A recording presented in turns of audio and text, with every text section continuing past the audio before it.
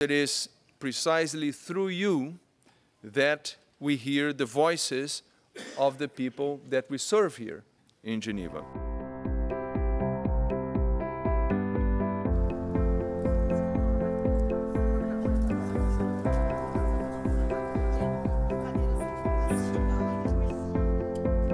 Nous représentons d'abord les populations qui nous ont élus. Nous sommes la voix des sans-voix et à cet égard, hein, nous, avons, euh, nous avons de très grandes responsabilités. So trade can improve your social conditions.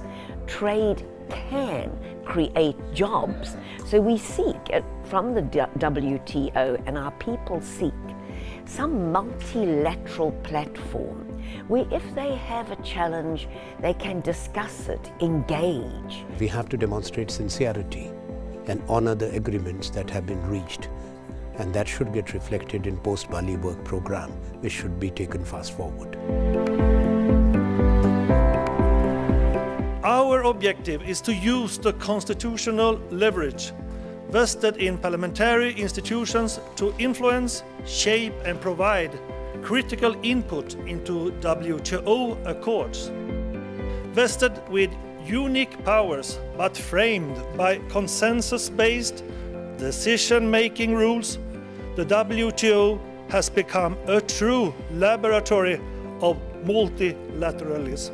Public opinion is uh, increasingly focusing on uh, trade agreements. Uh, we know it uh, well in Europe, uh, where the transatlantic trade and investment uh, partnership with the US is under very intensive democratic scrutiny.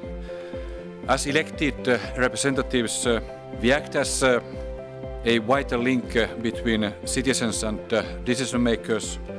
On the one hand, conveying the views of our electorates to those charged with negotiating deals and on the other hand, uh, by holding our governments uh, to account uh, and ensuring our concerns are heard and taken into account.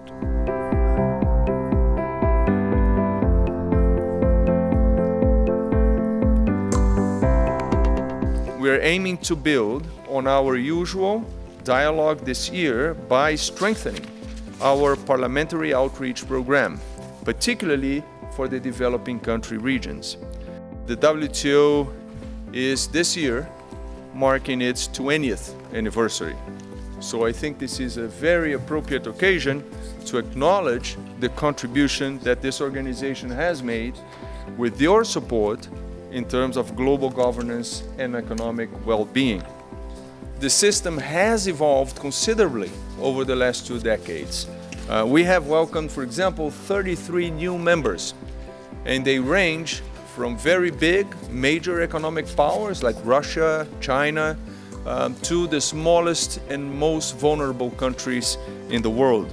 And with the package that we agreed in the ministerial conference that we held in Bali, December of uh, 2013, we have begun to finally update the multilateral rules.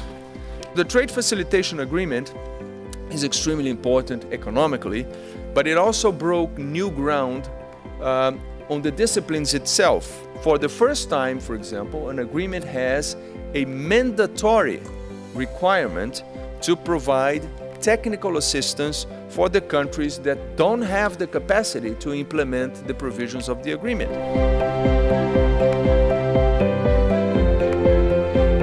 Las medidas de facilitación del comercio ayudan a profundizar la participación en las cadenas de valor al agilizar los procedimientos aduaneros, cortar costos, evitar retrasos innecesarios y reducir la incertidumbre.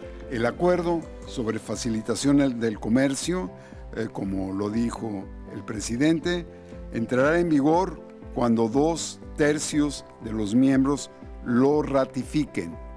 Sería un gran éxito de la conferencia ministerial en Nairobi en diciembre de este año si en ese momento pudiéramos anunciar su entrada en vigor.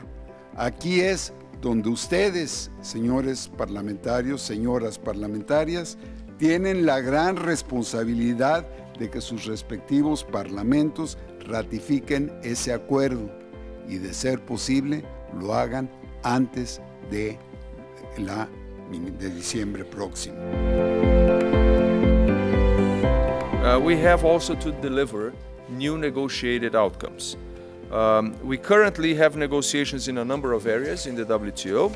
Uh, some members are engaged in negotiations on environmental goods. Uh, there is also a negotiation on the expansion of the information technologies uh, agreement, uh, for example, and these are very significant agreements which would bring uh, major economic gains uh, and the results of those negotiations would benefit all WTO members even though not all of them are participating in these initiatives but the results apply to all. So the liberalization would be available to everyone